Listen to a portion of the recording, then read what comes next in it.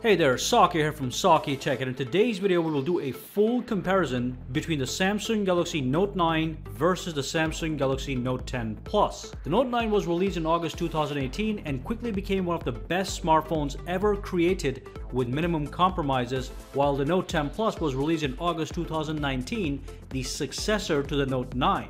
So naturally, people want to compare the two and ask questions such as, do I upgrade from the Note 9 to the Note 10 Plus? Or if I'm in the market to buy the Note 9 or the Note 10 Plus, which one do I get? So in this video, I will answer those questions directly by doing a full and complete comparison of every aspect of these smartphones. In the end, we will tie everything together in a conclusion to give you precise answers. Let's get started by taking a look at the build and design.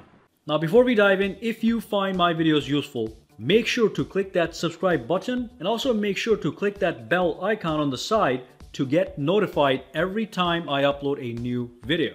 And of course, if you do use Twitter, Instagram, or Facebook, make sure to follow me on all at SakiTech Online, also for the latest updates. Alright, let's dive in. Both of these smartphones follow a similar build. They use Gorilla Glass for the front display and for the back panel, while a metal band secures the edges. It's a tried and true formula, and the final result is a solid build and a million dollar in-hand feel. Now when it comes to the actual design, we, we do have some differences. The Note 9 has no notches or holes in its display and offers a nearly all-screen display with extremely small bezels the Note 10, on the other hand, comes with a center cutout on its display which does house the front camera, a process which allows Samsung to make the bezels even slimmer, bringing the Note 10 one step closer to the future of true all-screen displays. The overall design of both of these smartphones is sensational, with the only major difference being the hole with super thin bezels versus no hole with slightly larger bezels. And of course, on the rear, you have a vertical layout on the Note 10 and a horizontal layout on the Note 9. In a few minutes, I'll play videos on both smartphones to give you a side-by-side -side experience on how movies and games will look and feel on either smartphone, but let me quickly talk about some other features. Both smartphones are IP68 grade water resistant, which means they can easily withstand water splashes, rain, and dust.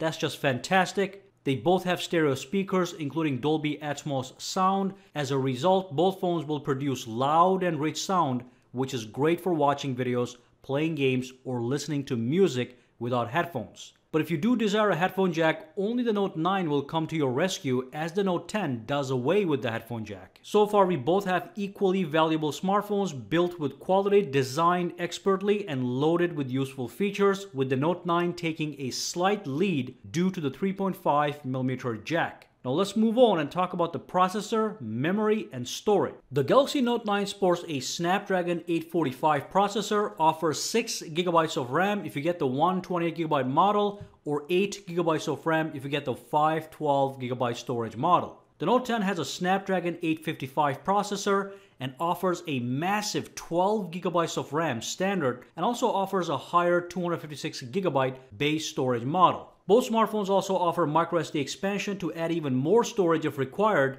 Note 10 also uses faster UFS 3.0 storage on their smartphone for improved performance. Now it is clear that the Note 10 here has seen an upgrade. You have more RAM on the base model and a newer and faster processor. As you can see, the benchmarks favor the Note 10. In this category, the Note 10 is in the lead based on pure numbers. But it is essential to understand that the real-world everyday performance on both smartphones is rock solid whether you are gaming, browsing, or watching videos, everything will work without lag and swiftly. Now let's move on and talk about the dimensions. Side by side they have the same footprint, but it is clear that the Note 10 is able to offer a larger dis display despite similar dimensions. Nobody really cares about the dimensions anymore, so let's move on to a more important category, the display. Note 9 has a gorgeous Super AMOLED 6.4 inch display with a, with a resolution of 2960 by 1440 and 516 pixels per inches. It also supports HDR10. The Note 10 Plus has a gorgeous dynamic AMOLED 6.8 inch display with a resolution of 3040 by 1440 and 498 pixels per inches. It does support the newer HDR10 Plus version. When it comes to the quality of these displays, they both offer a top-notch display experience. Just look at how crisp and clear they are. The Note 9 takes a small lead due to its HDR10 Plus compatibility and there is certainly some slight enhancements in display quality as well, but nothing to sing hosannas over. The bigger concern is going to be whether or not you want a hole-free display versus one that does have a hole known as the Infinity O display. So you can see them side by side and in my opinion, the hole isn't too big of a deal and the extra screen real estate is welcome on the Note 10.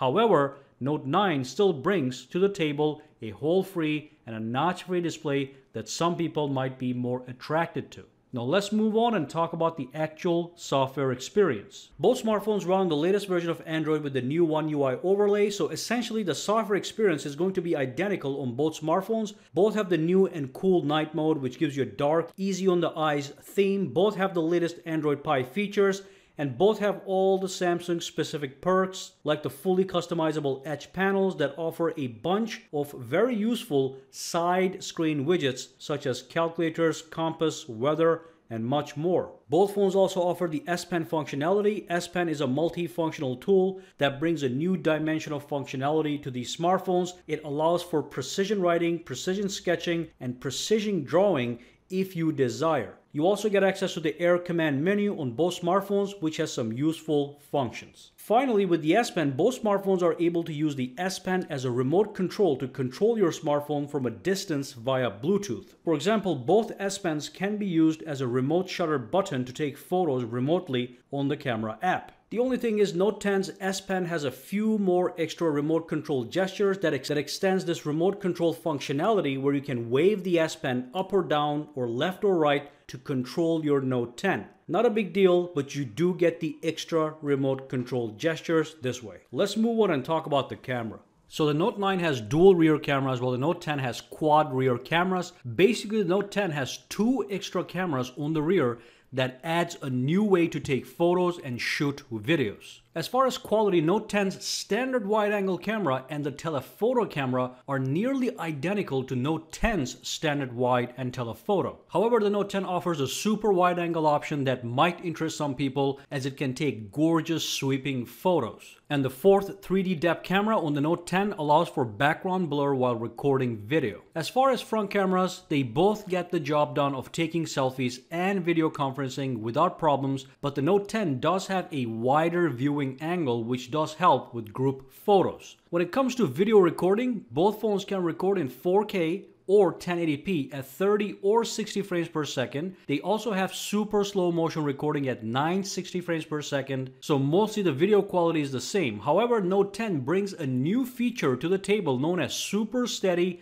video recording, which does an amazing job of stabilizing video over the Note 9. Note 10 is also more capable for nighttime shots. Again, daytime shots on either phone is equally amazing, but if you take a lot of photos at night, Note 10 does have a lead and a dedicated night mode option. So to summarize, both smartphones do have flagship worthy cameras. However, the Note 10 brings two extra cameras to the table, offers superior video stabilization, and has the night mode. So all these things in combination give it a lead over the Note 9 as a total package. If you're not deep into photography and are satisfied with the options the Note 9 offers, which are still plenty, then you don't have to worry about the camera too much. But if you do want that wide angle camera for any reason, better nighttime shots, and better video stabilization, then camera becomes important. Basically, the Note 10 offers more versatility in the camera department, so it does have a lead. Now for now, let's move on and talk about the battery and battery related features. The Note 9 has a 4000 mAh battery capacity, while the Note 10 has a battery capacity of 4300 mAh, and that's it. 200 milliamp hours of extra battery capacity might get you 15 to 30 minutes of extra battery life for everyday use, so the actual battery life isn't a big deal.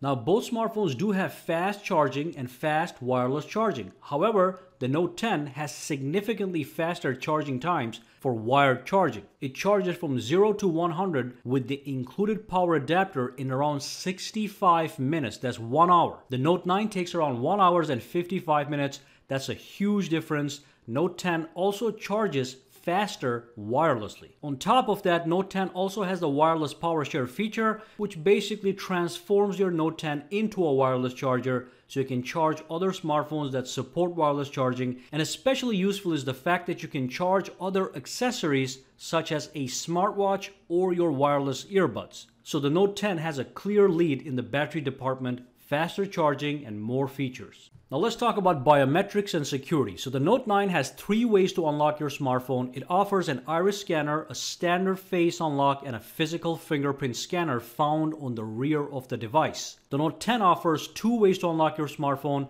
It offers a standard face unlock and a brand new in-display ultrasonic fingerprint sensor. Basically, I'll give you my personal opinion here and state that I much prefer a fingerprint sensor that is on the front of the display not only is it extremely practical and convenient, but also it is a very attractive feature from a technological perspective that it's built into the display. It's got that futuristic science fiction appeal. I would certainly prefer this over an iris scanner unless the iris scanner was also built into the display. As for pricing, Note 10 Plus starts at $1,100 while the Note 10 officially starts at one at $1,000. However, Note 10 is going to be available for much lower prices all the time. So those are the prices. Now let's tie everything together and draw a conclusion. All right, so how do we draw a conclusion? Very simple. Let, let's list all the notable advantages of the Note 10 over the Note 9 and see if the difference is worth an upgrade. Note 10 has a faster processor, higher base RAM and higher base storage. Note 10 has faster charging and the wireless power share feature. Note 10 also has an in-display fingerprint sensor. And finally, Note 10 does have better cameras and more camera versatility. And that's it. I do have to be very clear and state that though these are notable upgrades, they don't amount to anything revolutionary other than the in-display fingerprint sensor, which I think is high tech. So even though we have a lot of upgrades, it's nothing to go crazy about, especially when you're comparing the Note 9 to the Note 10. So if you do currently own a Note 9, there, there really is no compelling reason to upgrade. If you did have a Note 8 and you wanted to upgrade to the Note 10, I would say that would be a sensible upgrade, but Note 9 still has high-end performance, strong multimedia features such as stereo speakers with Dolby sound, has a headphone jack that the Note 10 lacks, has several biometric options for versatility, and of course has the powerful S Pen with almost the same functionality as the latest S Pen it certainly is quite an attractive package overall and a true power phone. Now the Note 10 is definitely slightly better, but still there's no need to upgrade. Do upgrade only if you must have the latest and greatest on the market and we do have people like that including myself. Now, if you are in the market to buy the Note 9 or the Note 10, I might even say get the 9 because it can be acquired a lot cheaper and has maximum features. However, again, the Note 10 should be acquired for people looking to get the latest and greatest. And that brings us to the end of this video. If you do have any questions, comments, or concerns, drop them down below and let me know exactly what you did, what you own, what you upgraded to, and your feelings. So drop them all down below. I will see you guys in the next video. Alright, so if you found this video useful, make sure to subscribe to Saki Tech by clicking that button and also click that bell icon on the side to make sure you get notified every time I upload a new video. And if you do use Twitter, Instagram, or Facebook, you can follow me at SakiTech Online to get the latest updates as well. Alright, have a fantastic day.